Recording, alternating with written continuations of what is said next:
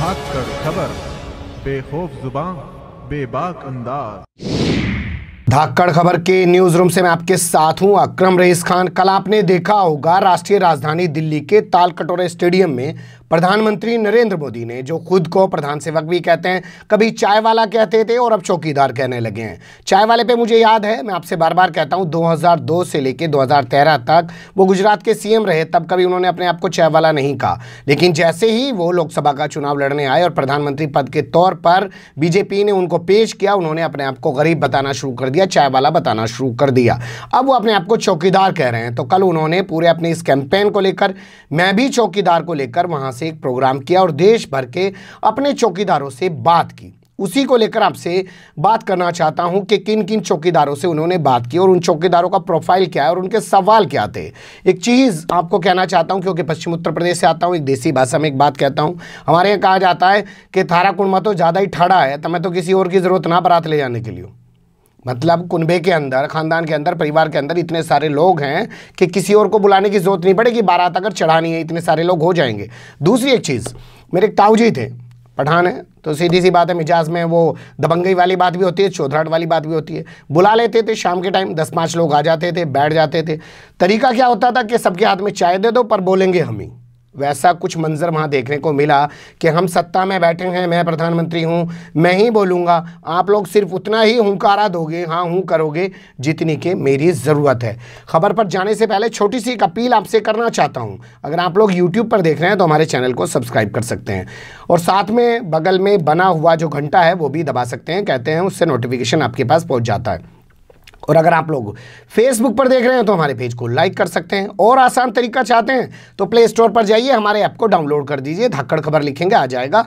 Download करने से benefit आपको ये होगा कि जिस भी वक्त आप ऑनलाइन होंगे ऐप पर क्लिक करिए, उसी वक्त आपको हमारी तमाम खबरें मिल जाया करेंगी। यूट्यूब पर खबर ढूँढने की ज़रूरत नहीं पड़ेगी, क्योंकि पता नहीं हम किस वक्त खबर डालते हैं और आप किस वक्त ऑनलाइन होते हैं। अब चलते हैं खबर के पहले हिस्से की तरफ़। खबर को मैंने कुल तीन हिस्सों में तैयार किया है। मैं तीन हिस्सों में पूरी खबर आपके सामने रखूँगा।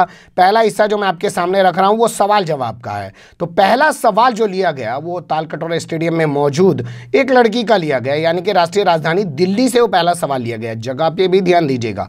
राष्ट्रीय राजधानी दिल्ली से वो सवाल लिया गया। पहले शुरुआत की सवाल सवाल की शुरुआत राष्ट्रीय राजधानी दिल्ली से की गई। अपूर्वा ठाकुर नाम की बीएससी में पढ़ने वाली सेकेंड ईयर की छात्रा से सवाल लिया गया। वो क्या बात कर रही है? दिल्ली यूनिवर्सिटी की छात्रा, उसने अपने आपको बताया है वो आप सुन लीजिए। आदरणीय प्रधानमंत्री जी मैं Apoorva Thakur BA second year की छात्रा दिल्ली विश्वविद्यालय से। मेरे दिमाग में किसी भी प्रकार की कोई कंफ्यूजन आशंका या डिलमा नहीं है। और इसका पूर्ण श्रेय जाता है आपको। आपने जिस प्रकार यूथ को एम्पावर किया है मोटिवेट किया है इससे हमारे समक्ष एक रास्ता खुल गया है अपने भविष्य को लेकर के।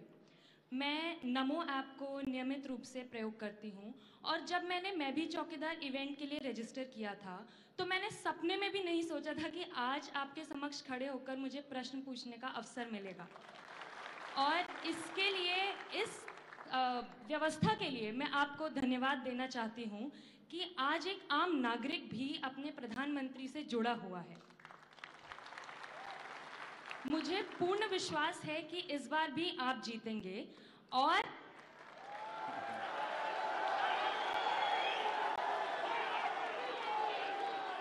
और इस बार जब आप शपथ लेंगे तो मैं ये जानना चाहती हूँ कि आपकी हम चौकीदारों से क्या अपेक्षा है? आप हमसे क्या उम्मीद रखते हैं? अब आपने सुना ये लड़की कह रही है कि आपने जिस तरह से यूथ को एम्पावर किया है उससे वो काफ़ी प्रभावित हुई है। वो लगातार नमो ऐप से जुड़ी रहती है। और जब चौकीदार का लॉन्च हुआ कैंपेन का तो उसने अपने आप को रजिस्टर्ड किया और उसने कभी नहीं सोचा था कि वो इस तरीके से प्रधानमंत्री से बात कर पाएगी।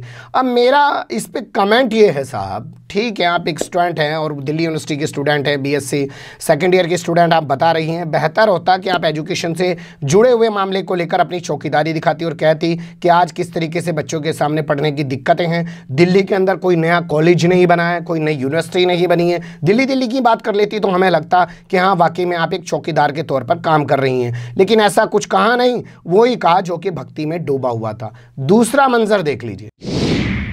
दूसरा सवाल लिया गया महाराष्ट्र से, यानी कि मुंबई से। मुंबई को हम आर्थिक राजधानी कह सकते हैं। हमारे देश की आर्थिक राजधानी के तौर पे तमाम लोग उसको जानते हैं। और चार्टेड अकाउंटेंट का सवाल लिया गया। मज़े की बात है कि आर्थिक राजधानी से सवाल ले रहे हैं तो चार्टेड अकाउंटेंट का, फिर मैं आपको कह रहा हूँ ना, दिल्ली से सवाल लिया छात्रा का और यहाँ से सवाल लिया चार्टेड अकाउंटेंट का आर्थिक राजधानी से।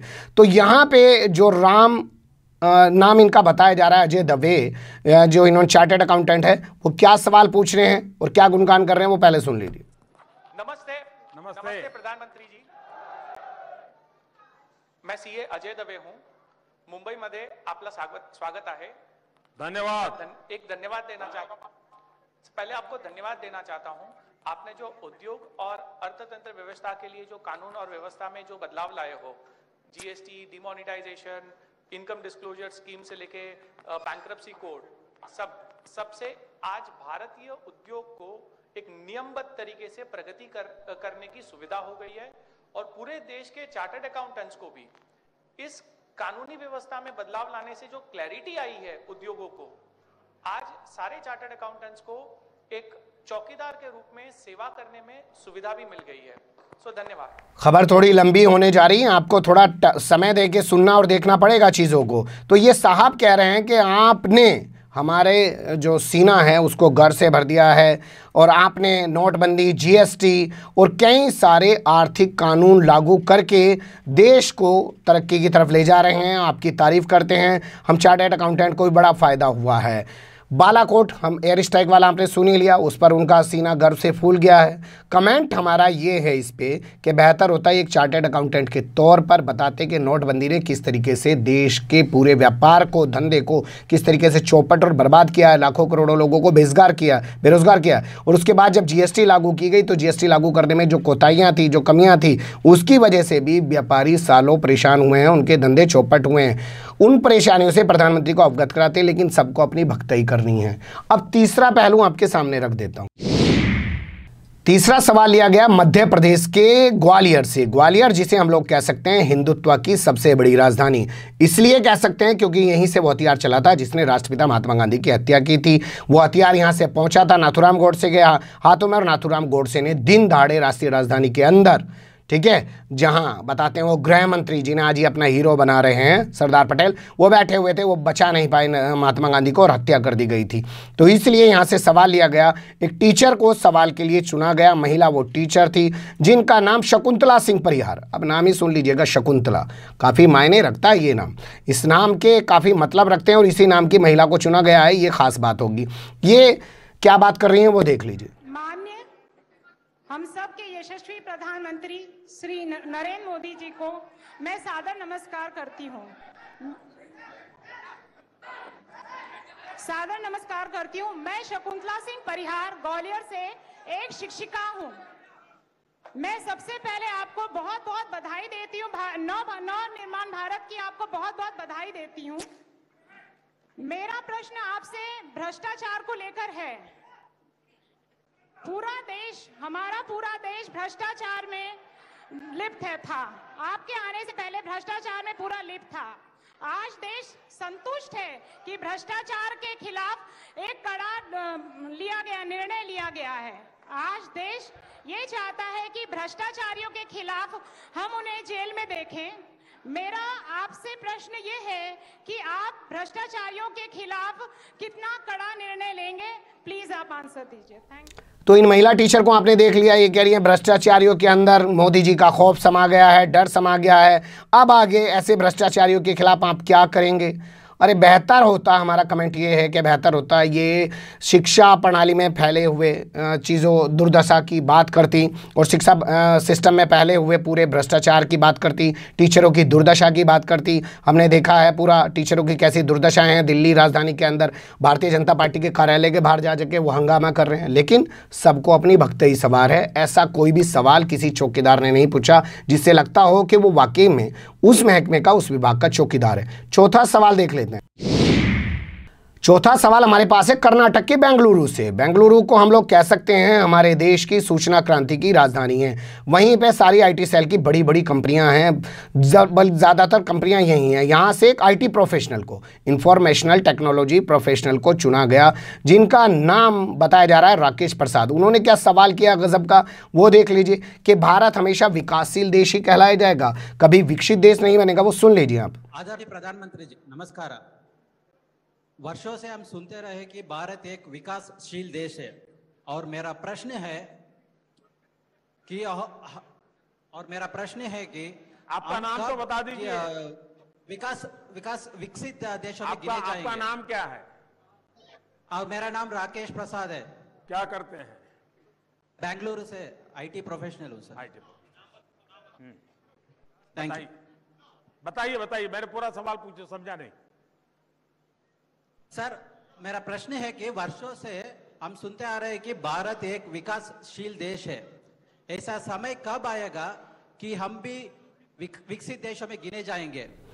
तो अब यहाँ हमारा कमेंट ये है कि साहब, भारत हमेशा विकासशील देश ही बना रहेगा, विकसित नहीं बनेगा, अच्छी बात है आपने सवाल किया, लेकिन अपने प्रोफेशन को लिहाज में रखते हुए प्रोफेशन का लिहाज रखते हुए सवाल करते तो ज़्यादा बेहतर था। आप कहते कि माननीय नरेंद्र मोदी जी, ये बताइए, आप डिजिटल इंडिया की बात कर रहे हैं और डिजिटल इंडिया के दौर में सात चरणों में चुनाव करा रहे हैं साहब और चुनाव संपन्न होने के चार दिन बाद आप कह रहे हैं हम वोटों की गिनती करेंगे। ये कैसा डिजिटल इंडिया है आपका जी? उन्नीस तारीख को जब चुनाव हो जाएगा तो तेईस तारीख से क्यों गिनती करेंगे? उसी वक्त पाँच बजे शाम से गिनती शुरू कर देनी चाहिए, अगले दिन सुबह से कर देनी चाहिए। ये चार दिन का गैप क्यों है? और वो भी डिजिटल इंडिया के दौर में, जबकि हमारा देश आईटी सेक्टर के मामले में अमेरिका तक जाके काम कर रहा है, बता रहे हैं गूगल का, इसका, उसके बड़े बड़े चेयरमैन जो हैं, भारत के लोग हैं। तो ये बात करनी चाहिए थी, लेकिन लगता नहीं है कि ये भी अपने महकमे की, अपने विभाग की, अपने प्रोफेशन की सही से चौकीदारी कर रहे हैं। पांचवा सवाल आपके सामने रख देता हूँ। पांचवा सवाल राजस्थान के चित्तौड़गढ़ से लिया गया है, जिसे एक राम सिंह राणावत के नाम के शख्स ने पूछा है। भगवा, वो कपड़े पहने हुए हैं। राम सिंह राणावत का प्रोफेशन नहीं बताया गया है तो इसलिए मैं भी कोई प्रोफेशन नहीं बता पाऊँगा, पर आप उनका सवाल सुन लीजिए। मैं राम सिंह राणावत, चित्तौड़गढ़, राजस्थान से हूँ।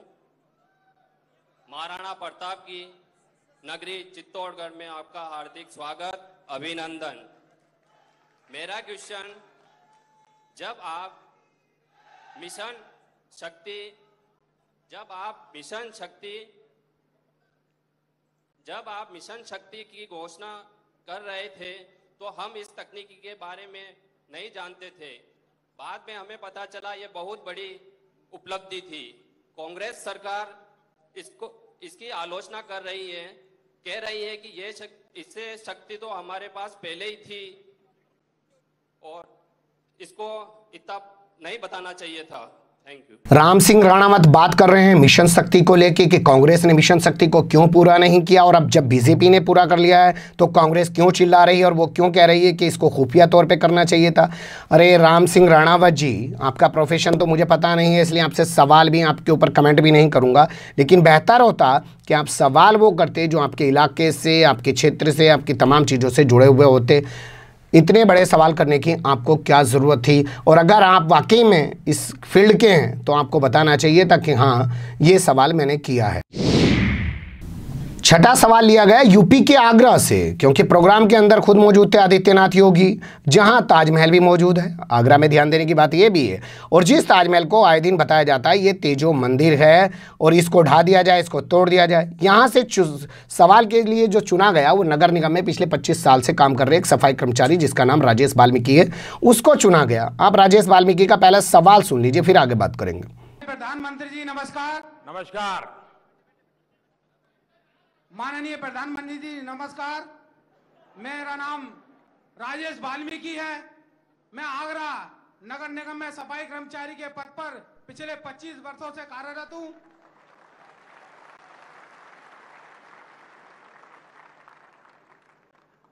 हेलो? हाँ बोलिए वाल्मीकि जी बोलिए। प्रधानमंत्री जी नमस्कार। नमस्कार मैंने सुना आप आगरा से हैं। आप सफ़ाई कर्मचारी हैं। वाल्मीकि आपका नाम है। बताइए। सफ़ाई कर्मचारी के पद पर पिछले 25 वर्षों से कार्यरत हूँ। मेरा सवाल यह है कि कांग्रेस रोज़ाना नए नए झूठ बोलती है। रोज़ाना नए नए झूठ बोलती है। एक झूठ सौ सौ बार बोलती है। और पिछले पाँच सालों में उन्होंने झूठ ही बोला है। पिछले पाँच सालों में हमने देखा है कि उनका झूठ और भ्रम बोलने का इकोसिस्टम बहुत मज़बूत है। इसको हम कैसे एक्सपोज करें? तो राजेश वाल्मीकि कह रहा है कि कांग्रेस रोज़ाना नए नए झूठ बोलती है और कांग्रेस के ऐसे झूठों को बचने के लिए क्या करना चाहिए? ये साहब ये बात कर रहे हैं। बेहतर होता, सफ़ाई कर्मचारी है, सफ़ाई कर्मचारियों की दुर्दशा की जो हालत आ रही है, पिछले एक साल के अंदर सेफ्टी टैंक के अंदर जाने के दौरान, सफ़ाई करने के दौरान कितने सारे सफ़ाई कर्मचारी मर चुके हैं। टाइम पे तनख्वाह नहीं मिलती है, कोई इनको सुविधा नहीं मिलती है, ठीक है? तो उसके बारे में बात करते हैं तो ज़्यादा अच्छा होता है। मैं आपको बताऊँ, एक बार नगर पालिका का एक प्रोग्राम हुआ और वहाँ पे सफ़ाई कर्मचारियों को सम्मानित किया गया। मैं वहाँ चला गया। जैसे सम्मानित करने के बाद सब लोग स्टेज से उतरे और वो अधिकारी कर्मचारी वहाँ से चले गए। वैसे मैंने पूछा कि बताइए, आपको क्या क्या दिक्कत है? तो उन्होंने बताना शुरू कर दिया, हमें मास्क नहीं देते, हमें ग्लव्स नहीं देते, हमें डेटोल नहीं देते, हमें टाइम पर तनख्वाह नहीं देते, हमें छुट्टी नहीं देते हैं हमें इस टाइम बुला लेते हैं हमें उस टाइम बुला लेते हैं किसी अधिकारी कर्मचारी के घर में बुला के हमें लगा देते। हैं तो बेहतर होता है अपनी दिक्कतों पर बात करते। कांग्रेस कितना झूठ बोल रही है और भाजपा कितना झूठ बोल रही है तो ये एक सफ़ाई कर्मचारी के पास पैमाना है क्या? वो पैरामीटर लेके घूमेगा? वो सच झूठ झूठ को डिसाइड कर सकता है? ये उसका काम है। सातवां सवाल आप देख लीजिए। सातवां सवाल लिया गया बिहार के नालंदा से। नालंदा को भी हम हिंदुत्व की एक बड़ी पहचान के तौर पर देख सकते हैं। ठीक है, नालंदा का जो विश्वविद्यालय है, आप जानती हैं। सवाल पूछने के लिए यहाँ से एक डॉक्टर महोदय को चुना गया। डॉक्टर महोदय जो हैं, उनका नाम बताया जा रहा आतुष आतुष आशुतोष कुमार। ठीक है? लोकसभा का नाम भी बताया, इन्होंने तो कमाल ही कर दिया। इन्होंने कहा, नालंदा लोकसभा उनतीस। साहब, कितने क्वालिफाइड आदमी इन्हें लोकसभा का नंबर भी है। हमें तो नहीं पता हमारी गाजियाबाद की लोकसभा का क्या हाल है या दिल्ली की लोकसभा, कौन सी लोकसभा का क्या नंबर है? उत्तर प्रदेश में कौन सी लोकसभा का क्या नंबर है? या बागपत की लोकसभा का क्या नंबर है? सुन लीजिए इनकी जबानी। मैं डॉक्टर आशुतोष कुमार, शास्त्र शस्त्र और ज्ञान की धरती, नालंदा से सादर प्रणाम आपको। नालंदा लोकसभा क्षेत्र 29 की समस्त जनता आपके उत्तम स्वास्थ्य की कामना करती है। आदरणीय प्रधानमंत्री जी, जब आपने ये अभियान, मैं भी चौकीदार हूँ, चलाया था तो हमें लगा कि ये केवल चौकीदार भाइयों के लिए है, लेकिन बहुत कम समय में हम जैसे डॉक्टर समेत कई सेक्टर्स के लोग डॉक्टर्स इंजीनियर्स ब्यूरोक्रेट्स सभी समस्त मजदूर, व्यवसायी, किसान, सभी लोग जिस तीव्र गति से इससे जुड़े और अपने आप को इसमें सहर्ष स्वीकार करते हैं, मैं आपको इसके लिए सहृदय धन्यवाद कहता हूँ।